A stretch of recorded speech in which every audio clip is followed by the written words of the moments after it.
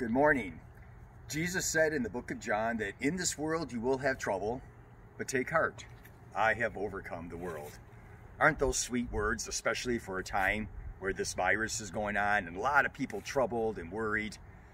It's really great when you don't have to live with fear because even though we have unknowns in our lives, Jesus says, I have overcome the world. That means anything that comes, he has overcome it. You know, the greatest trouble that we uh, will face, obviously, is death.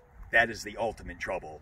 People grieving over the loss of loved ones. You know, a couple weeks ago, I bought a Gerber daisy. I love those flowers. And look at, in just a couple weeks, they're already fading. You can see the petals starting to fall. There goes one. It's really sad. They served their time. They served their purpose. Just think, they started out as a bud. They bloomed and they brought me a lot of joy, especially as I was thinking about snow that was falling on Easter Sunday. The Bible says in the book of Isaiah, the flower fades, the grass withers, but the word of the Lord endures forever. Aren't those great words as well? Something that you can count on always is the words of Jesus. And he says, even though you die, yet you shall live forever. Man, I love the comfort that he brings. I want to challenge you and encourage you to share the word of hope with others. Let them know what you have in Jesus Christ. He is there for you in all of your troubles.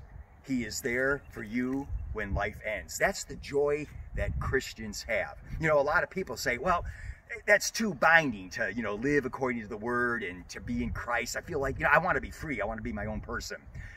I came across an analogy in a Paul Tripp devotion last week. He said a train. Picture a train going down the tracks. It's kind of fun, isn't it? Don't you like the choo choo? I just love it. Going down the track. If that train was off the track, it wouldn't go anywhere, would it? It would just sit there. That track is like a life in Christ. When we're on the track, that's really freedom. I mean, you could look at that train and say, You're not free. You can't go in the water. You can't go on the land.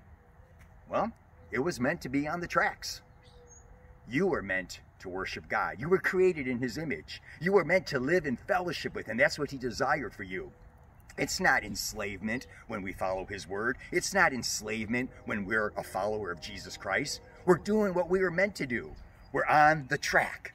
When we go off it, all kinds of trouble. But remember, in this world you will have trouble. But take heart. I have overcome the world. And when your time is done, when your time comes to fade, wither away, remember, the word of the Lord endures forever. And he has promised in his word, if you believe in me, you shall live with me forever. There is no greater joy. Now go and share that good news with others. This is Pastor John from the branch. You have a great day.